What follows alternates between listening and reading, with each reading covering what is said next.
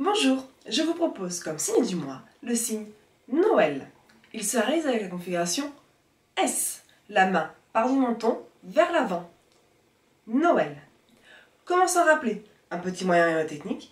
Imaginez-vous la barbe du Père Noël. Noël. Bon mois de décembre à tous.